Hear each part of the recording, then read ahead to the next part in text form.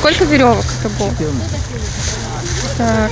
Все пакеты подписаны, для каждого свой мусор. Находят его на берегу. Здесь и обломки буйков, и сети, подошвы от обуви, стекло, бутылки. На свалку ничего не пойдет. Отходы отправят на изучение в Японию. Цель не собрать и утилизировать отходы, а цель это а, собрать и изучить отходы, узнать, какое количество, какое определенного количества отходов да, находится на побережье больше или меньше. Однако повод для субботника совсем другой. В эти выходные жители Владивостока отметили Международный день очистки водоемов. Его проводят каждый год, места не повторяются. На этот раз водолазы прощупали дно бухты Охлёстышева на Русском острове.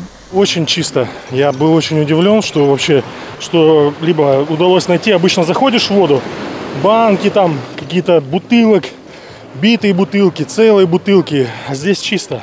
Из крупных предметов только одна автомобильная покрышка и обломки деревьев. Ничего более опасного для отдыхающих дайверы не обнаружили. В море каждый из них провел от 10 до 20 минут. Одному водолазу повезло вдвойне. Удалось устроить даже слежку за осьминогом.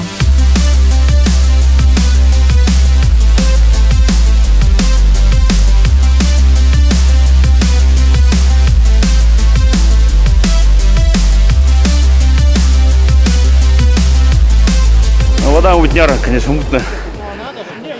Ну, а так мусор особый. Я бы не сказал, что там много. Ну, Так, ежика много. Море, в принципе, чистое. Мы убираемся каждый год. Вот прям там ствол лежит дерево. Ну, кедр такой хороший. Можно стол делать прям. Такой монолитный. Ну, доставать уже не стали. Ну, там еще народ купается. В общем, все замечательно. Солнышко вылазит. Праздник удался. Провести уборку у моря откликнулись около сотни горожан. Берег очищали те, кто обычно здесь отдыхают. Десятки мусорных пакетов, два часа свободного времени и бухта чистая. Надолго ли? Зависит от воспитания других горожан. Валерия Белоус, Дмитрий Сухоруков. Новости на восьмом.